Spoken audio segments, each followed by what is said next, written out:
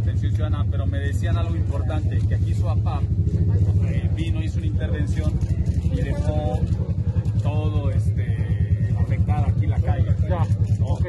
¿Viene alguien de servicios? Este, Sí, viene gente de Xochitl. Somos servicios.